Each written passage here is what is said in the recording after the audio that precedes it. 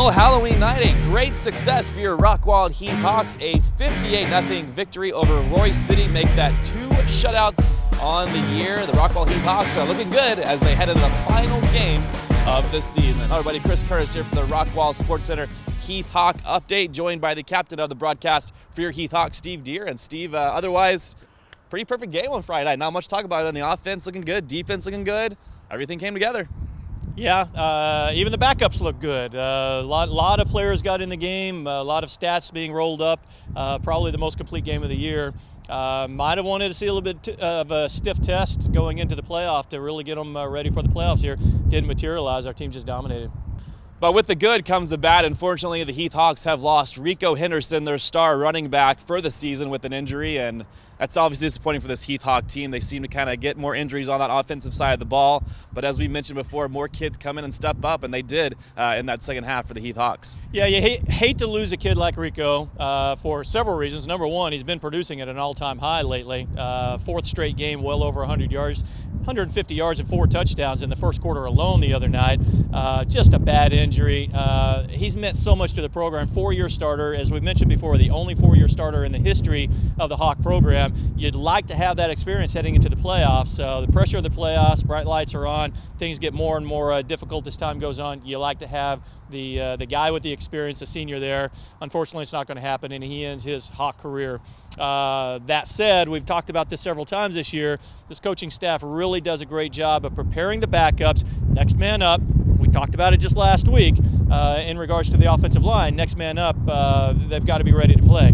Tyler McAllister is a very good, very solid running back himself. He uh, he can step in and do a good job young Tanner McAllister. He got his first offensive touches of the, the year Friday night. ends up going over 100 yards and scoring a touchdown himself. So the McAllister brothers are going to pick up the slack, hopefully, and carry us into the playoffs. We definitely want to wish Rico the best in his recovery, and hopefully he gets to play some D1 football next year. But of course, Coach Moss has to be happy after a 58 0 victory over Royse City this past week.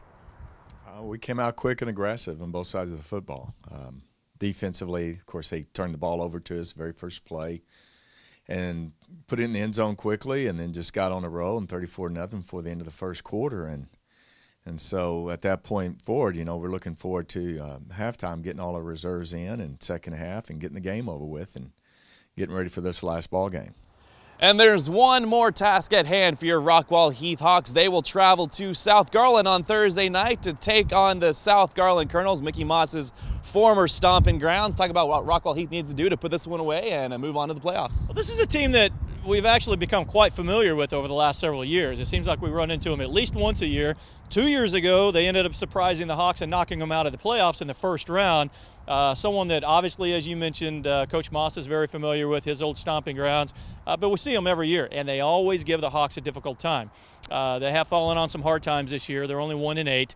Uh, they're capable of putting some uh, points on the board, sounds familiar from the last couple of weeks. Every team we play in this district seems like they can put ports on the board. Uh, senior Ashland Baker uh, can throw the ball, he can run the ball. He's got like 14 touchdown passes on the year. But the big stud is the wide receiver Germanic Smith. That guy's got over a thousand yards receiving and something like 14 touchdowns himself. Uh, he's been uh, on the um, uh, varsity roster for three years now, and we've run into him for three years, and he's always given the Hawks fits. So what do the Hawks need to do? Well uh, let's let's keep the momentum going. Um, it should be a victory, but more more than that, uh, we got to stay healthy. We don't want any more Rico Henderson. So uh, we've got our playoff spot secure. We already know what we're going to be. We already know uh, uh, more than likely who we're going to play. Uh, so let's come out of this game. Yeah, a victory would be, be nice, but more than that, let's come out of this game healthy. Do you see all the starters playing this game, or do you figure we're going to see what we saw last week, where we kind of pull them at halftime? And if this game goes away, that we're both thinking, are we going to pull them at halftime and get ready for the playoffs in that regard? Well, if I'm the coach, uh, they probably don't play past the first quarter. Uh, I don't want any more, especially the the guys, the, the seniors, the big guys that we're really depending on. I don't want any more injuries. Um, knowing this coaching staff, they'll probably play into the second quarter, and then uh, we'll start getting some of our backups in. We got some good kids that uh, it'll be good for them to get some playing time now, some experience. They probably won't see that much in the playoffs, uh, so it'll be good now for them to get varsity playing time. Kanan Smith, Tanner McAllister, these guys that uh, we'll be counting on next year. Uh, let them see some time. Let them tote the rock a little bit. Let them uh, get some varsity experience so that they have that under their belt, and at the same time, save our big horses for the playoffs. No injuries. Let's see what Coach Moss says about what might you might see on Thursday night. We'd love to do that. You never can tell how a game goes. Uh, you know, being the last game for their seniors, also they're they have nothing to lose. You know, they're going to go out and give their best. Uh, they're going to play hard. You know, you got to expect that from a team. So you never know.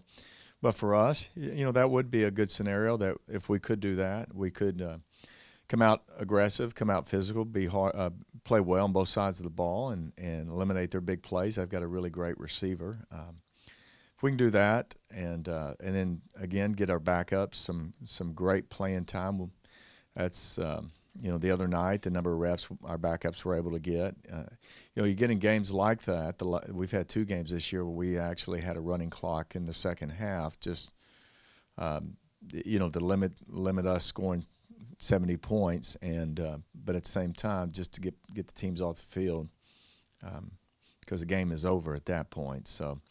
And we mentioned the playoffs are coming up here in two weeks. Senior Heath Hawks will be a part of the postseason party. Of course, they already have their seed locked down. Steve, other than maybe playing for a district championship this week if Poteet loses to Terrell, which probably won't happen the Heath Hawks are already in. They know what what's going to happen. They don't know their opponent quite yet, but it's kind of looking more and more like it might be somebody that we're looking forward to. Who could they be playing in the first round, and where would be they be playing? Well, you're looking at 11-5A. Uh, that's the district that we're matched up against, and it'll be one of two teams: Carrollton Creekview, Carrollton Newman Smith. They play Friday night, so basically the loser of that game will be the number two seed out of that uh, uh, district the Division One number two seed, and that's who the Hawks will match up with.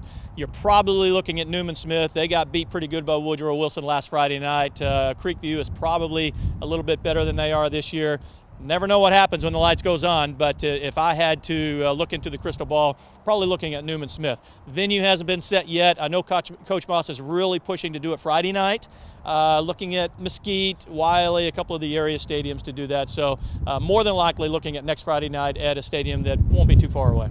Exciting times for sure. You excited about the postseason? Oh yeah, I'm ready to get rolling. The last couple of weeks, Hawks have played so well. I'm uh, looking for something a little tighter and something uh, more fun to call out of the booth. So yes, I am looking forward to the playoffs. We don't want you bored up there. We want to get you excited up yes. there for sure. And don't forget, if you want to listen to the game on Thursday night, it's www.rockwallisd.com. Of course, you can log on there after the game to check out where the Hawks will play in their first round matchup. It's going to be exciting times at Heath High School. And don't forget, next Monday we will move the program to Rockwall Sports Center. Steve Deer will be there to sign some autographs, take some pictures, yeah. kiss some babies, the usual. You know, I'm your sure fans. The will be out the door. Yeah. so if you want to come out, don't skip school though. That's all we got to say. don't skip school for that. So we'll see you next Monday at the Rockwall Sports Center. Until then, we'll see you next week where the playoffs will officially be underway. Thanks again, everybody.